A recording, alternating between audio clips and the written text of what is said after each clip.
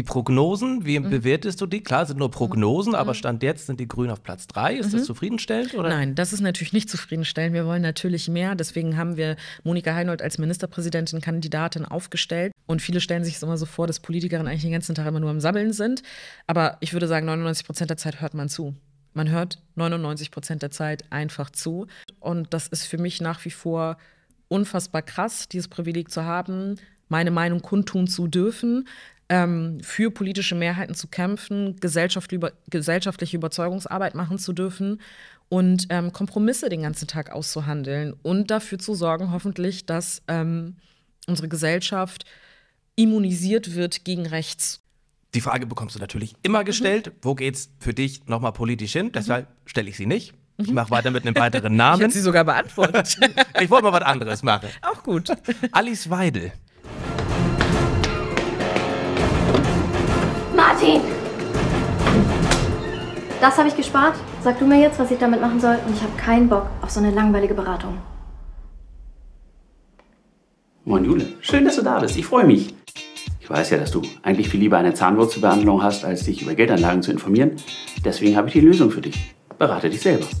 Das heißt, du suchst dir die Anlagestrategie aus, die für dich am besten und am passendsten ist. Und das Beste daran, nach 20 Minuten bist du damit fertig. www.martin-evas.de Auf eine Tasse Tee mit Aminata Touré. Meine heutige Teegästin ist von den Grünen und hat die ersten Lebensjahre in einem Flüchtlingslager in Neumünster verbracht. Mit 26 Jahren hingegen wurde sie zur jüngsten Vizepräsidentin eines deutschen Landtages, nämlich von unserem schönen Schleswig-Holstein. Grund genug, um heute eine Tasse Tee vom Teekontor Nordfriesland mit ihr zu trinken und sie als Person besser kennenzulernen. Viele kennen sie schon aus Radio, aus Fernsehen, aus aus, aus dem Internet, von Social Media, aber wir wollen sie jetzt auch mal in Tourist Tea Time besser kennenlernen. Und ich sage, hi Amina, Aminata, Amina, schön, dass das mit uns beiden hier geklappt hat. Moin, moin und ich freue mich auch. Super. Ich freue mich auch. Wo sitzen wir hier eigentlich gerade? Wir sind jetzt gerade im Fraktionssitzungssaal der Grünen. Ähm, der wurde neu gemacht, äh, muss man dazu sagen, während Corona. Und ehrlich gesagt saßen wir hier noch nie komplett zusammen, weil wir alles immer noch äh, weitestgehend digital machen. Ist das immer noch so? Ja. An vielen Stellen schon, ja. Aber der Alltag kommt ja so peu à peu Voll, zurück. Auf jeden Fall. Aber der Alltag ist jetzt halt auch nochmal dann dominiert vom Wahlkampf, sodass mhm. alle einfach die ganze Zeit im ganzen Land zerstreut sind. Ja. Von daher, ja, so richtig Normalität ist immer noch nicht da. Das gilt, glaube ich, für viele. Ich halte dich ja sicherlich gerade in deinem Vollwahlkampf eine Woche noch bis zur Wahl von irgendwas ab. Von was eigentlich? Also ich meine, das ist halt natürlich immer eine Frage, ähm, ist das jetzt irgendwie abhalten oder gehört das nicht auch dazu? Und ich glaube, es gehört halt auch dazu, ähm, mit Menschen Austausch zu sein, Interviews zu führen, Podcasts zu machen. Also von daher hältst du mich nicht von irgendwas ab, sondern ich mache das sehr gerne. Wunderbar. Ich habe schon gehört, vorher hattest du ein Interview. Mhm. Jetzt habe ich eine halbe Stunde, dann kurz was essen, mhm. dann das nächste Interview. Was steht mhm. heute noch an? Äh, dann machen wir noch Haustürwahlkampf wow. an unterschiedlichen Orten, ja. fahren irgendwie wirklich ähm, Stunde für Stunde weiter. Also von daher, der Kalender ist immer voll. Glaube ich gerne. Dann komme ich zu drei Fragen, um dich mhm. auch mal als Person ein bisschen besser kennenzulernen. Wenn du denn mal keinen Wahlkampf machst, mhm. keine Politik machst, einen freien Tag hast. Mhm. Selten genug sicherlich. Ja. Wie verbringst du den am liebsten? Gestern ist vielleicht ein guter Tag. Da hatte ich zumindest einen Dreivierteltag keine Politik gemacht Schön. am Sonntag. Und ähm, da habe ich einen Frühjahrsputz gemacht. Das war wohltuend. Ich weiß, es klingt total spießig, ne? Aber ich liebe es, Ordnung zu Hause zu haben, weil ich finde, so eine äußere Ordnung schafft eine innere Ordnung. Und es ist sowieso immer, also äh, wird immer sehr penibel zu Hause darauf geachtet, dass es ordentlich und sauber ist. Ähm, aber sowas wie Schubladen mal reinzugucken und äh, äh, zu sortieren. Äh, das habe ich gestern gemacht und das war so wohltuend. Und wenn du mal wirklich auf einen freien Tag hinfieberst, träumst du da vom Aufräumen oder wirklich mal vom Nein, Verreisen? Ich muss sagen, ähm, ich ähm, mache super gerne so Sachen wie dann einfach zu lesen oder ähm, zu schreiben oder mit äh, Freundinnen äh, Zeit zu verbringen oder mit meiner Familie. Ja. Ich muss sagen, in den letzten Wochen, wenn ich freie Momente habe, habe ich mich schlafen gelegt, äh, um ehrlich zu sein, um Schön, ne? einfach, ne? ja, genau, ein bisschen mhm. Energie zu tanken, ja. weil wirklich ähm, die Wochen sind auch vor dem Wahlkampf immer voll gewesen. Die letzten ja. fünf Jahre waren immer voll, alles immer hoch getaktet.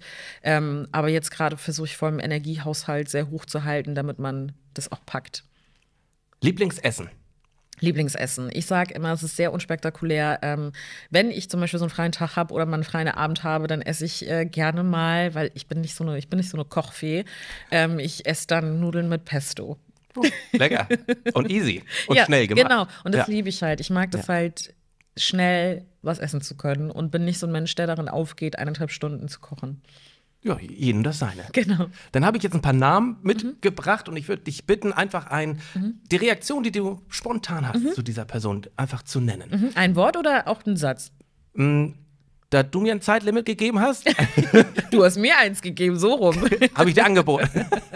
Wie du magst, Ja, was dir okay. dazu einfällt. Ich habe bewusst einige Personen genannt, wirst du merken. Fangen wir mit Barack Obama an.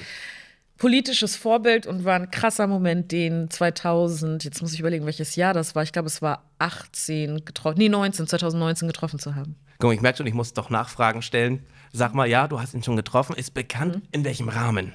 Und zwar ist er ähm, das erste Mal wieder in Deutschland gewesen, nachdem er Präsident war und hat so eine Konferenz mit seiner ähm, Obama Foundation gemacht. Und äh, ich durfte ihn dann persönlich kennenlernen, ihn vorstellen auf der Bühne, ihm Fragen stellen, persönlich backstage. Und das war natürlich ein absoluter Wahnsinn. Ja, da hat man, glaube ich, nicht von äh, geträumt sicherlich, aber Ja. dass das auch so schnell Ja. Realität Komplett. wird. Überhaupt. Also, aber ich muss sagen, wirklich, ich habe die ganze Zeit gedacht, ich hoffe, ich werde diesen Menschen irgendwann treffen. Ich habe da ganz fest dran geglaubt, dass es irgendeine Gelegenheit geben wird. Und ich hatte ihn auch ein, äh, zwei Monate vorher in ähm, Kalifornien getroffen. Bei, ein, die, hat, die hat mich eingeladen, ähm, bei seiner Foundation dort ähm, äh, teilzunehmen. Und dann habe ich ihn sozusagen in so einem riesen Saal mit tausend Leuten, acht Kilometer gefühlt entfernt, gesehen. Und das war schon total mindblowing. Und zu diesem Zeitpunkt wusste die Obama Foundation schon, dass sie mich fragen wird, ob ich zwei Monate später dann ihn vorstellen möchte. Aber es war noch so eine kleine Bewährungsprobe, die ich da hatte. Und da habe ich mich gut gemacht. Und danach haben sie mich dann gefragt und haben gesagt, willst du es machen? Und ich bin wirklich komplett ausgerastet. Übrigens habe ich das erfahren, als ich in diesem Fraktionssitzungssaal war. Siehst du? Und dann bin ich aufgestanden, habe gesehen, das ist eine Nummer. Da dachte ich so, hm, wer ruft mich denn da an? Bin in mein Büro und dann rief mich dann halt jemand an und meinte halt so, ja, hättest du Lust, das zu machen? Und ich bin natürlich sehr cool geblieben, bin innerlich völlig ausgerastet und bin sehr cool geblieben und gesagt, ja, klar, gerne, danke, wann soll ich das machen? Und habe sofort meine Mutter angerufen und gesagt, Mama, du glaubst nicht, was passiert ist. Ich treffe Barack Obama und die ist auch ein Riesenfan. Und sie meinte, oh nein, nein, nein, nein, nein, das glaube ich jetzt nicht. Und es war echt schön. Toll. Wie sind die auf dich aufmerksam geworden? Warum haben sie dich kontaktiert? Ja, ich war nämlich äh, im Jahr zuvor im Rahmen einer Reise, Black Caucus äh, Week. Das ist so eine ähm, äh, Woche, die jährlich stattfindet. Die ist aus der schwarzen Bürgerinnenrechtsbewegung aus den USA entstanden. Da, wo Zivilgesellschaft, Politikerinnen, Wirtschaft und so weiter in den USA, in Washington DC zusammenkommen für eine Woche. Und die ganze Woche und die ganze Stadt ist sozusagen nur im Zeichen dieses Black Caucus. Schwarze Bürgerrechtsbewegung ist natürlich eine, die auch außerhalb der USA weltweit einfach auch äh, viele Dinge nach sich gezogen hat. Und ich habe an dieser Konferenz teilgenommen. Wir haben die Obama Foundation dort äh, kennengelernt. Ähm, ich habe dort Reden gehalten, ich habe debattiert, die haben das alles mitbekommen und meinten, okay, die finden wir klasse. Und ich habe mich natürlich super gefreut, ja. Angela Merkel. Angela Merkel ähm, habe ich auch vor ein paar Wochen zum ersten Mal getroffen. Habe ich bei Äh, Insta gesehen, ja, ja. bei der Bundespräsidentenwahl Ja. äh, und ähm, ist auf jeden Fall jemand, mit dem ich politisch nicht übereinkomme inhaltlich. Ist klar, sie ist bei der CDU, ich bin bei den Grünen. Ich finde, sie hat trotzdem ihren Job, glaube ich, nach bestem Wissen und Gewissen getan und ist einfach natürlich eine Frau, die in die Geschichte eingehen wird und sich wirklich ähm, ihr ganzes Leben der Politik dieser Gesellschaft Deutschland gewidmet hat. Und davor habe ich einen immensen Respekt. Wärst du in deiner Position, in der du jetzt bist, hätte es Angela Merkel als Kanzlerin nicht gegeben? Nochmal, ich, muss- ich habe gerade kurz einen Knoten. Hätte Was hätte, Angela wer, Merkel als Kanzlerin, ne, als erste Ja. Mhm. Frau an der Spitze, hätte sie es sie nicht gegeben, wärst du dann in deiner Position jetzt? Was Mhm. Okay, meinst du? das verstehe ich. Okay, ähm, gut, ähm, das weiß ich nicht. Mhm. Ähm, also mit Blick auf mich persönlich würde ich sagen, dass ich natürlich sie wahrgenommen habe und natürlich war sie einfach eine beeindruckende Persönlichkeit. Für mich persönlich in die Politik zu gehen, war sie kein ausschlaggebender Grund.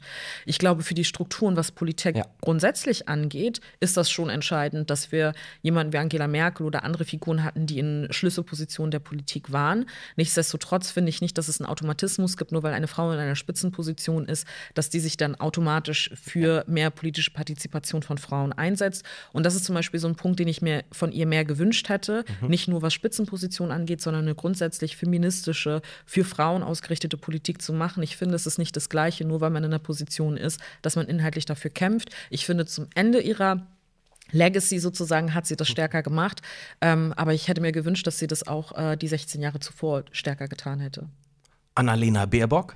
Annalena Baerbock ist natürlich bei uns die erste Kanzlerkandidatin gewesen, macht einen super Job gerade. Viele Menschen, die einfach eine Zustimmung ähm, formulieren, die ihr das vorher nicht so zugetraut hätten. Und äh, uns freut es als Grüne natürlich, dass äh, es da so einen hohen Zuspruch gibt. Seid ihr befreundet?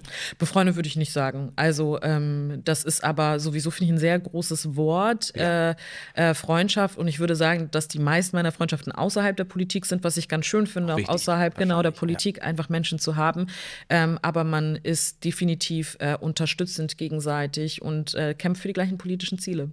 War es damals richtig, Annalena vor Robert Habeck äh, zu, zu, zu stellen? Ja, ich glaube schon, ja. War es dann auch richtig, dich nur als Nummer zwei äh, hier in Schleswig-Holstein aufzustellen? Ja, also es ist ja nicht so, ähm, als wäre ich jetzt eine unbeteiligte Person an dieser Konstellation gewesen. Mhm. Genau, also dass jetzt irgendwie, ich weiß nicht, ich irgendwo unterm Bett lag und jemand anrief und gesagt hat, ey, Amina, könntest du dir vorstellen, Platz zwei zu machen, sondern ich habe diese Entscheidung ja proaktiv mitgestaltet mhm. und ich habe gesagt, ich möchte das gerne in einem Duo machen. Ich möchte, dass es jemanden gibt, ähm, die auch äh, in Verantwortung, schon in äh, Regierungsverantwortung dann auch beansprucht, Minister Ministerpräsidentin werden zu wollen. Ich habe Monika Heinold dann auch gefragt, hast du Lust, das gemeinsam mit mir zu machen? Ähm, und sie hat gesagt, ja, sie hat da Bock drauf. Und dann haben wir das gemeinsam gemacht. Und ich finde, wir sind perfekt in der Rollenaufteilung unterwegs, in der wir sind. Sehr schön. Die Frage bekommst du natürlich immer gestellt. Mhm. Wo geht's für dich nochmal politisch hin? Deshalb stelle ich sie nicht. Ich mache weiter mit einem weiteren Namen. Ich hätte sie sogar beantwortet. ich wollte mal was anderes machen. Auch gut. Alice Weidel ähm, ist in einer rechten, rechtsextremen Faschopartei unterwegs. Ähm, ich habe keinen Respekt vor Menschen, die andere Menschen abwerten ähm, und finde es ganz furchtbar, dass es ähm, rechte Parteien, rechte Gesinnungen, rassistische Parteien, rassistische Menschen gibt. Und ich hoffe, dass Ihre Partei hier in Schleswig-Holstein am 8. Mai rausfliegt aus dem Parlament. Wie ist deine Erfahrung mit der AfD-Fraktion im Landtag? Es äh, gibt ja auch Ausschnitte, ja. Reden von dir in deren genau. Richtung, mhm. auch als in deiner Position als mhm. Vizetagspräsidentin. Mhm. Deine Erfahrung? Ja, also ähm, sie, meine Erfahrung ist so, dass ich als Vizepräsidentin natürlich überparteilich agiere und bei allen Parteien ähm, reingehen oder Fraktionen dann reingehen muss, äh, wenn äh, Leute überziehen oder sonstiges. Da haben sie sich meistens sozusagen an die Regeln gehalten. Ähm, aber in der inhaltlichen Auseinandersetzung habe ich an der Stelle, wo ich es für notwendig erachtet habe, immer meine Gegenposition formuliert. War für mich auch ein Antrieb 2017, um in ein Parlament zu gehen, weil ich wollte, dass dort widersprochen wird. Und ich finde, dass ähm, wir das als schleswig-holsteinisch-demokratische Parteien sehr gut gemacht haben, immer dagegen zu halten. Antrieb ist ein schönes Stichwort für meinen nächsten und letzten Namen, Cem Özdemir. Cem Özdemir war für mich ein sehr wichtiger Mensch, um bei den Grünen beizutreten, weil ich glaube, viele Parteien unterschätzen einfach, dass halt auch diese Figuren sehr relevant sind. Gehe ich da jetzt in eine Partei rein oder nicht? Und Cem Özdemir ähm, und ich hatten jetzt vor, ich glaube, zwei Wochen eine Veranstaltung gemeinsam in Lübeck, haben eine Townhall gemacht. Das ist für mich ein ganz besonderer Moment gewesen, wenn da so ein, jemand, der ein politisches Vorbild für einen war, dann mit einem gemeinsam so eine Veranstaltung macht. Ich habe vor ein paar Jahren ähm, meine Laudatio, das war glaube ich auch 2019, für ihn gehalten in der Frankfurter Paulskirche. Das war für mich auch ein sehr besonderer Moment.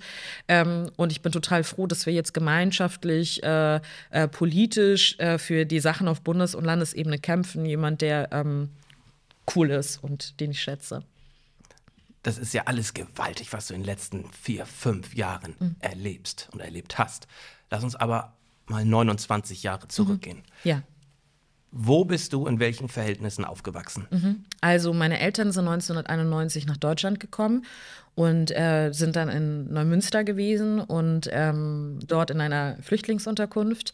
Wie muss ähm, man sich diese vorstellen? Äh, man muss sich die so vorstellen, ähm, dass das sozusagen so ein Wohnblock war, mehrere Wohnblöcke, die da waren ähm, und die unterschiedlichen Familien in ihren Wohnungen gelebt haben und unten im Keller waren dann die Gemeinschaftsduschen. Ich glaube, wir haben eine Zwei-Zimmer-Wohnung gehabt und wir waren ähm, zu dem Zeitpunkt habe ich habe noch zwei ältere Schwestern, meine Eltern und ich. Meine kleine Schwester ist dann auch äh, vier Jahre später noch gekommen. Also da wart dann, ihr ja immer noch da. Ne? Genau, da waren wir immer noch mhm. da. Ähm, meine Schwester ist wie gesagt vier Jahre jünger als ich. Das heißt, äh, ein Jahr hat sie da auch noch gewohnt. Und dann durften wir, als ich fünf war, ähm, in unsere erste eigene Wohnung dann ziehen tatsächlich. Und ich muss sagen, für mich als Kind, ich meine, wenn man da so reingeboren wird, man kennt es ja nicht anders. Es ist für einen dann ja nicht, oh Mensch, das ist aber komisch, dass wir jetzt hier sind, sondern es war für mich Normalität. Es war für mich Normalität, isoliert zu leben. Also, dass man nicht so den Zugang zu den anderen Kids, zu den anderen Menschen drumherum hatte, nur in der Unterkunft eigentlich, so auf dem Rasen und äh, auf dem Parkplatz und in dem Wald hinten und so weiter. Ich habe das als eine sehr schöne Zeit empfunden. Also wir waren alle von wirklich null bis ich sag mal, 20 waren die Kids, ne? Also, das ist schon natürlich eine krass prägende Zeit gewesen und ich habe erst begriffen, dass es noch was anderes als diesen Ort gibt, als äh, ich dann zur Schule gekommen bin, weil in den Kindergarten durften wir nicht. Und Grundschule war der erste Moment, wo ich dann sozusagen auf die anderen Kids getroffen bin und auf so eine, ich sag mal, deutsche Lebensrealität getroffen bin. Ähm, und das war natürlich ähm, ja eine intensive Zeit. Wie lange dauerte diese, diese ja, wollen wir mal den Teebeutel. Den Teebeutel den langsam Teebeutel, ne? rausnehmen, Ja. Hier, Igor. Wie, danke, danke. Wie lange dauerte diese Zeit der Umgewöhnung oder der Angewöhnung? Ähm, ich glaube, ja, so wie Kinder halt sind. Ne? Also natürlich nimmt man das alles wahr und das darf man überhaupt nicht unterschätzen, so nach dem Motto, das hat jetzt irgendwie nicht auch irgendwie Auswirkungen auf Kids, wenn die so aufwachsen, aber ich war die ganze Zeit einfach nur aufgeregt und aufgekratzt. So, ich wollte die ganze Zeit unbedingt in die Schule. So. Und ähm, habe mich gefreut, dass ich mit fünf in die Schule durfte dann weil meine Mutter das bei meiner älteren Schwester und mir ähm, halt dann auch wollte, dass wir ähm, dann ja früher in die Schule gehen, weil damit wir keine Zeit verpassen. Und meine Mama hat in der Zeit davor uns halt Lesen, Schreiben, Rechnen beigebracht. Das heißt, ich war einfach schon, also frühkindliche Bildung durch meine Mama, sehr intensiv auf Deutsch und Französisch. Und ähm, ja, deswegen war ich bestens vorbereitet für die Schule, habe dann so einen Test gehabt, ähm, so, so einen Eignungstest macht man dann ja irgendwie, ob man dann irgendwie in die Schule darf. Und ich weiß noch, dass ich das Wort Bügeleisen nicht kannte. Ich kannte es nur Französisch. Faire à repasser heißt es auf Französisch. Und dann saß ich da mit meinen beiden Eltern und ich habe alles sozusagen bestanden dann in dieser Prüfung. Und dann kam diese Frage, wie heißt das auf Deutsch? Und ich weiß noch, wie ich so, so, so, so Schweißperlen hatte und so aufgeregt und dachte, wenn ich jetzt dieses verdammte Wort nicht weiß, dann kann ich nicht in die Schule gehen. Und dann hat mein Vater mir das zugeflüstert. Und ähm, der durfte das natürlich nicht sagen, die Prüfung galt mir und nicht ihm. Aber ich habe mich so gefreut, dass er mir da aus der Patsche geholfen hat. Und der Prüfer meinte dann in dem Moment, Herr Touré, die Prüfung gilt Ihrer Tochter und nicht Ihnen. Aber ich war froh, ich wurde eingeschult und das war irgendwie dann ein super Moment. Ja. Ja. Also du hast die Zeit rückblickend, diese fünf Jahre in dem Flüchtlingslager Mhm. Äh, Gemeinschaftsunterkunft, genau, Flüchtlingsunterkunft, genau, wie auch Ähm, immer. als recht positiv in Erinnerung. Ich arbeite hauptberuflich bei der Messe in Husum und in unserer Messehalle ist jetzt seit, seit einiger Zeit eine große Notunterkunft für die Menschen aus der Ukraine. Ähm, kannst du dich in diese Menschen hineinversetzen? Ist ja kein Eins zu eins Vergleich. Nee, genau. ne? Also ich glaube, ähm, ich würde mir das nie anmaßen zu sagen, zu wissen, wie es ist, auf der Flucht gewesen zu sein. Ich bin hier geboren. Was ich nur kenne, ist die Situation, ähm, in Ungewissheit zu leben, ähm, ob man tatsächlich hier bleiben darf und wie es ist, als Geflüchtetengruppe wahrgenommen zu werden. Und die Situation der Menschen aus der Ukraine gerade ist eine dezidiert andere. Die ähm, fliehen gerade vor Bombenhagel, vor Krieg. Und natürlich ist das für mich so, jedes Mal, wenn ich in der Flüchtlingsunterkunft bin, jedes Mal, wenn ich mit Menschen spreche, die eine Migrationsgeschichte haben, die eine Fluchtgeschichte der Eltern haben, ähm, dass das was mit mir macht. Und ich glaube, es macht mit den meisten Menschen was.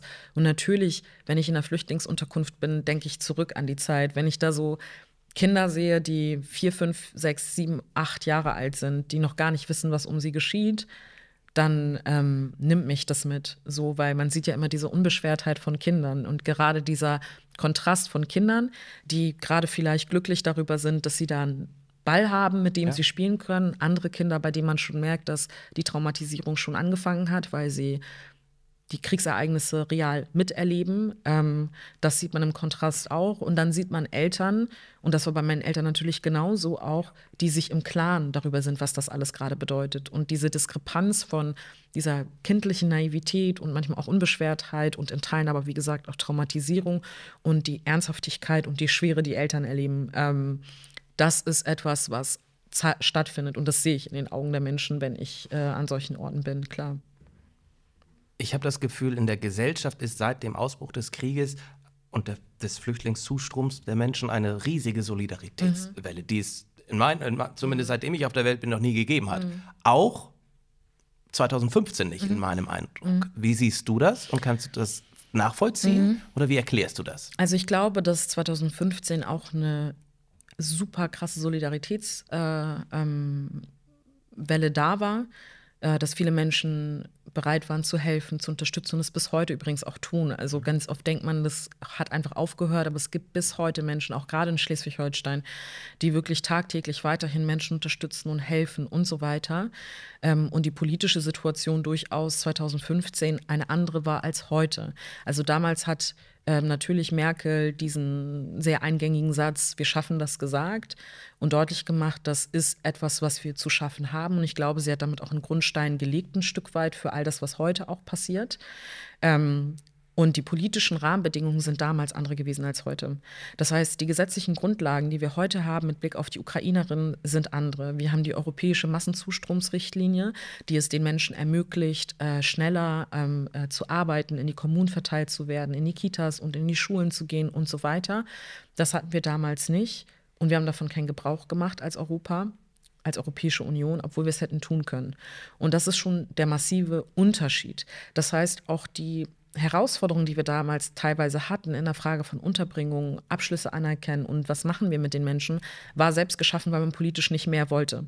Und das ist heute anders. Und das ist meiner Meinung nach ein Punkt, wo wir ernsthaft über den Paradigmenwechsel in der Flucht- und Migrationspolitik sprechen müssen, weil es anders geht und es politisch nicht gewollt war. Und Zivilgesellschaft, da ist es auch geteilt. Das, man kann nicht zu 100 Prozent sagen, alle stehen so oder so da. Wir haben eine pluralistische Gesellschaft zum Glück. Aber ich glaube, die Akzeptanz ist durchaus eine andere, äh, heute noch viel stärker als damals, die ich auch schon als hoch empfunden habe. Ähm, aber man muss natürlich auch 2015 und 2016 ähm, ähm, ähm, Was hieß der Finger? Äh, dass wir, nee, dass wir hier in der Aufnahme sind, ja. wollte ich. Ich wollte elegant das übergehen, jetzt ist es angesprochen, jetzt geht's ja. nicht. ähm, dass das eine andere Situation war. Ähm, natürlich. Und ich hoffe, dass wir die Erfahrung, die wir jetzt gerade sammeln, nutzen, um vielen Menschen die gleichen Möglichkeiten zu geben wie damals und ähm, ähm, wie, wie, wie heute sozusagen. Und ich habe ja immer noch den Vergleich in die 90er hinaus zurück, als meine Eltern hergekommen ja. sind. Das war noch mal eine viel restriktivere Art und Weise des Umgangs, das Asylrecht, das verschärft worden ist in diesen Jahren, äh, Anschläge, äh, Brandanschläge auf Flüchtlingsunterkünfte, die es gegeben hat, die, die hat es auch 2015 gegeben, die gibt es jedes Jahr. Die linke Bundestagsfraktion fragt es jährlich ab, ähm, wie die Brandanschläge auf Flüchtlingsunterkünfte sind. Ähm, das passiert alles zeitgleich und äh, das ist nichts, was wir vergessen oder ignorieren dürfen. Ich merke, das ist dein Kernthema mhm. auch. Ne? Was sind weitere politische Themen, mit denen du dich tagtäglich, zumindest wöchentlich mhm. auseinandersetzt. Ja, also die Themen, mit denen ich mich noch auseinandersetze, ist natürlich das Thema Frauen- und Gleichstellungspolitik zum Beispiel, Queerpolitik, Katastrophenschutz, Religion, ähm, innenpolitische Themen. Ähm, das ist eine wirklich, wirkliche Bandbreite und dann natürlich einfach als Grüne führt gar kein Weg dran vorbei, Klima-Energiepolitik. So, also ähm, es ist schon so, und gerade als Spitzenkandidatin, dass wirklich alle Themen jeden Tag äh, von morgens bis abends setzt man sich mit denen auseinander. Als fachpolitische Sprecherin, wie gesagt, die Themen, die ich dazu vorgenannt habe. Und egal um welches Thema es geht, ist der Anspruch immer, wie können wir eine politische Lösung finden, mit der die Gesellschaft einhergeht, um manchmal auch schwierige Entscheidungen zu treffen, obwohl es auch einen starken Widerwind gibt aber was notwendig ist, weil wir die Verantwortung tragen. Das ist ähm, immer sozusagen der Drahtseilakt, den mhm. man macht. Gab es für dich den ausschlaggebenden Moment, wo du damals sagtest, jetzt gehe ich auch in die Politik? Mhm. Also ich bin vor zehn Jahren zu den Grünen gegangen, weil mir das gesellschaftliche Klima und das reale Klima wichtig waren. Das ist sozusagen, das sind so die zwei Kernthemen gewesen. Ähm, und grundsätzlich darüber schwebend das Thema der Ungerechtigkeit. Mich macht es wütend, wenn Dinge ungerecht zugehen und wenn sie politisch anders zu organisieren wären. Und das war der ausschlaggebende Moment für mich, ähm, um in eine Partei zu gehen, selber zu kandidieren, dann 2017 und das 2016 zu durchdenken, war tatsächlich der krasse Rechtsruck auch in unserer Gesellschaft. In allen Parlamenten waren auf einmal rechte, rechtsradikale Faschoparteien in ganz Europa Teil der politischen Realität. Und ich habe das halt immer sehr ernst genommen, wenn man uns gesagt hat, wir tragen als die nachkommenden Generationen die Verantwortung, dass nie wieder, tatsächlich nie wieder passiert. Dass wir es nicht zulassen, dass rechte Strukturen, rechte Politikerinnen, rechte rassistische Tendenzen mehrheitsfähig werden, normalisiert werden, sie irgendwann als Normalität gesehen werden. Und deswegen war für mich dann der Punkt, okay, Amina, du hast politische Erfahrung gesammelt in der Partei, du hast zwei Jahre als wissenschaftliche Mitarbeiterin und persönliche Referentin im Deutschen Bundestag gearbeitet, du hast eine Meinung, du traust es dir zu, an solchen Themen zu arbeiten, du möchtest politisch widerständig sein, dann kandidier doch. Und ob es klappt oder nicht, entscheidet die Partei, entscheidet danach, entscheiden danach die Wählerinnen. Und dann hat es funktioniert. Und das ist für mich nach wie vor unfassbar krass, dieses Privileg zu haben, meine Meinung kundtun zu dürfen, ähm, für politische Mehrheiten zu kämpfen, gesellschaftliche, gesellschaftliche Überzeugungsarbeit machen zu dürfen und ähm, Kompromisse den ganzen Tag auszuhandeln und dafür zu sorgen, hoffentlich, dass ähm, unsere Gesellschaft immunisiert wird gegen rechts, um es mal in den Worten meines Kollegen Burkhard Peters zu sagen, der hier in politischer Sprecher ist für uns Grüne dass unsere Aufgabe ist, unsere Gesellschaft äh, und auch die Konservativen und die Liberalen nach rechts zu immunisieren, dass sie wirklich diese Mauer durchziehen und sagen, wir lassen es nicht zu, dass das normalisiert wird. Wie erklärst du dir deinen, ich sag, kometenhaft ist übertrieben, mhm. aber wie erklärst du deinen, deinen, deinen schnellen Erfolg in der Partei?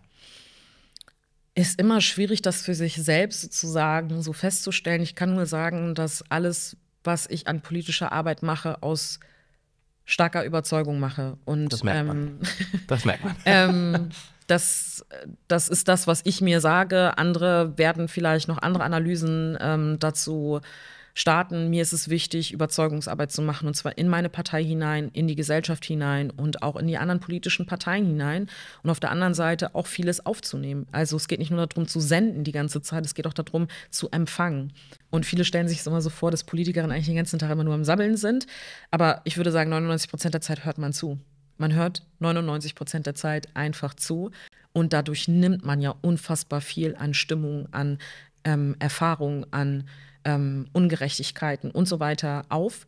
Und ich muss sagen, egal was, wie lang ein Tag ist, egal wie intensiv alles ist, und ich mir denke, boah, ich bin echt müde, kann die Augen kaum aufhalten, dann ist man so wie zum Beispiel am Freitag war das, glaube ich, in Neumünster mit der Sinti-Union in Schleswig-Holstein unterwegs und die erzählen dann von den Herausforderungen, die Menschen hatten, die ähm, Sinti oder Rom Roma sind in Schleswig-Holstein, dass sie vor allem verdeckt gelebt haben, dass sie die Zugänge zur Gesellschaft nicht hatten, dass ihre Geschichte nicht anerkannt wird. Und ich bin wach und ich bin da und denke so, ja, das ist etwas, was wir politisch bearbeiten müssen noch weiter. Und das haben wir im Parlament beschlossen, die Aufarbeitung der Geschichte von Sinti und Roma in Schleswig-Holstein. Der Beschluss ist das eine, das politische Umsetzen ist das andere. Und dafür braucht es Menschen, die in Parlamenten sind und das umsetzen wollen. Wir befinden uns in der heißen Phase des Wahlkampfes, mhm. Wochenende des Landtagswahl. Mhm. Die Prognosen, wie mhm. bewertest du die? Klar, sind nur Prognosen, mhm. aber Stand jetzt sind die Grünen auf Platz drei. Ist das mhm. zufriedenstellend? Oder? Nein, das ist natürlich nicht zufriedenstellend. Wir wollen natürlich mehr. Deswegen haben wir Monika Heinold als Ministerpräsidentin Kandidatin aufgestellt ähm, und ähm, sind jetzt gerade, glaube ich, schon in der Zuspitzung gerade, wird es schwarz-grün oder schwarz-gelb geben, wenn man ehrlich ist. Ähm, und werden wir auf Platz zwei oder auf Platz drei landen, ist auch äh, eine Frage, die man sich stellt. Wir hoffen natürlich Platz eins, aber was die Umfragen angeht, glaube ich, gibt es genau diese Zuspitzung. Und deswegen merkt man, dass auch die Menschen in Schleswig-Holstein sich gerade die Frage stellen, hm, Jamaika fanden wir gut zu 75 Prozent. Wir finden den Daniel Günther auch super. Aber eigentlich finden wir es auch ganz gut, wenn die Grünen mit dabei sind. Ähm, und die sozusagen auch ein klimapolitisches, sozialpolitisches Korrektiv sind. Das sind die Gespräche, die ich gerade jeden Tag am Wahlkampfstand führe. Und die sagen, ja, was sollen wir denn jetzt machen? Und ich sage, wenn ihr wollt, dass Grüne beteiligt werden, ist es wichtig, Grüne auch mitzuwählen. Ansonsten wacht, wacht man möglicherweise mit Schwarz-Gelb auf. Und ich fand die Zeit nicht so schön von Schwarz-Gelb. Erzähl doch mal, warum sollte ich Grün wählen oder mhm. meine Zuschauer und äh, Hörerinnen und mhm. Hörer? Weil wir als Energiewendeland Nummer eins in Schleswig-Holstein Spitzenreiter in Deutschland sind. Und das hat viel damit zu tun, dass wir Grüne zehn Jahre mit Teil dieser Landesregierung. Da schreiben waren. sich aber viele Parteien jetzt irgendwie mittlerweile auf die ja, Fahne, ne? Ja, aber ähm, da ist die Frage, wer hat die tatsächliche politische Verantwortung getragen und wer hat die Kompromisse ausgehandelt. Und ich kann aus politischer Erfahrung der letzten fünf Jahre sagen, das war kein Spaziergang, ähm, progressive Energie- und Klimapolitik zu machen. Da gab es viel Widerstand von CDU und FDP. Wir haben dann Kompromisse hinbekommen, die sich sehen lassen können, aber da geht noch mehr. Und ich habe wirklich Respekt und auch Angst davor, dass solche ambitionierten klimapolitischen, sozialpolitischen Fragen Umfragen zurückgedreht werden könnten. Und das war die Aufgabe, die wir hatten. Ich meine, Daniel Günther und die CDU sagt, Kurs halten, alles kann bleiben, wie es ist. Die FDP gibt Antworten teilweise in zurück, Atomkraftwerke wieder anschalten. Wir haben den politischen Anspruch, dass vieles in diesem Land super ist. Ja, also wir lieben dieses Bundesland, wir lieben die Entwicklung, die es hier gibt, aber es gibt Herausforderungen in der Zukunft in der Energiepolitik, in der Sozialpolitik, in der Wohnungspolitik und dafür braucht es neue Konzepte, neue Ideen. Und dieser Motor und Antrieb waren meiner Meinung nach immer wir. Und wenn man das für die nächsten fünf oder zehn Jahre in Schleswig-Holstein auch möchte, sollte man Grün wählen. Amina, ich wollte schon immer mal eine Tasse Tee mit dir trinken. Das habe ich jetzt äh, getan, geschafft. Mit wem würdest du denn gerne mal eine Tasse Tee trinken, wenn du könntest? Ich meine, Barack hattest du schon getroffen, mhm. Angela auch. Mhm. Cem auch. Wen gibt's da noch? Ähm, wen ich total interessant finde, ist Alexandria Ocasio-Cortez aus den USA, eine ähm, Abgeordnete, die einen wahnsinnig krassen Wahlkampf geführt hat, überraschend gewonnen hat in New York und wieder gewonnen hat und die wirklich unbeirrbar ist. Und ein Satz, den ich mir einfach immer wieder von ihr merke, ähm, weil die viel Widerwind äh, erfährt und viel Widerstand und die Konservativen, die komplett ausrasten auf sie und so komplett crazy, auch wie sie als der personifizierte Teufel dargestellt wird, weil sie für eine motivierte, engagierte Klimapolitik steht, weil sie für soziale Gerechtigkeit steht. Und der Satz, den sie immer sagt, wenn sie, weil sie viel ähm, Widerwind erfährt, ist, at least I'm trying. Und das heißt, zumindest versuche ich es, ja. Dinge neu anzugehen. Und da denke ich mir immer so, ja, Mann, genau so ist es auch. Ähm, man weiß nie, wenn man in die Politik geht, ob man alles richtig oder perfekt machen wird. Und man hat total Angst davor, Fehler zu machen und es kann einen lähmen. Und dieses at least I'm trying, das war für mich total so ein Befreiungsschlag, als ich das von ihr gehört habe, weil ich glaube, wenn man immer nur Angst davor hat, Fehler zu machen, nur Angst davor hat, alles falsch zu machen und vielleicht nicht allen gerecht werden zu können, dann ist man nicht mutig, dann ist man nicht progressiv, sondern man bleibt stehen und denkt sich, nichts soll sich verändern. Und ich glaube, wenn man aber sagt, at least I'm trying, at least versuche ich hier Dinge zu bewegen. Ich weiß nicht, ob ich alleine das schaffen werde, ob ich genügend Menschen überzeugen werde, aber der Versuch ist schon eine Menge mehr wert. Und deswegen Alexandria Ocasio-Cortez. Alright, gefällt mir sehr gut. Ich bin gerade am überlegen, wie das Zitat von den Ärzten heißt aus einem Lied. Das bezieht sich auch eben darauf. Ja. Äh, ich komme nicht drauf, aber wer nicht wagt, der nicht gewinnt. Einigen wir uns ein yeah. bisschen darauf. Yeah. Vielen Dank, Amina.